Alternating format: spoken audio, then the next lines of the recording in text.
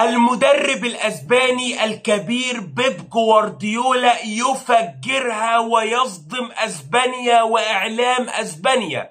ويؤكد بيب جوارديولا لامين يامال اختار القرار الصحيح بتمثيل المغرب ورفض ضغوطات وإغراءات أسبانيا.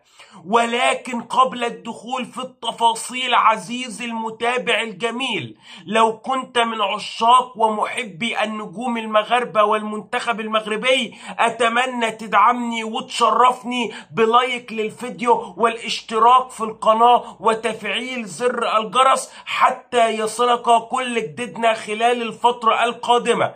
أشاد اليوم بيب جوارديولا بقرار لامين يامال بتمثيل المنتخب المغربي حيث أكد بيب جوارديولا المدرب الأسباني الكبير أن لامين يامال موهبة كبيرة جدا من بين أفضل المواهب المتواجدة في الساحة العالمية. في الوقت الحالي وسيمثل إضافة عظيمة جدا جدا جدا للمنتخب المغربي خلال الفترة القادمة.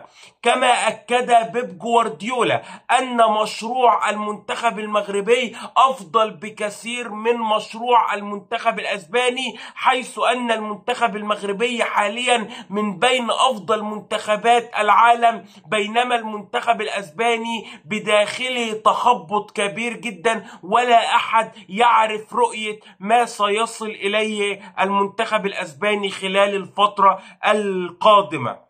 في نهاية الأمر بيب جوارديولا أكد أن المنتخب المغربي قادم بقوة نحو المنافسة على نسخة كأس العالم 2026 بأمريكا وكندا والمكسيك وأشاد بيب جوارديولا بخط هجوم المنتخب المغربي مع تواجد لامين يامال زياش النصيري وأيضا سفيان بوفال بعد عودته من الإصابة. جوارديولا قال كلمة عظيمة جدا المغرب تمتلك ترسانة هجومية قاتلة لا يستطيع أي دفاع مهما كانت صلابته إيقاف هذه الترسانة. لامين يامال زياش النصيري بوفال الزلزولي وغيرهم وغيرهم.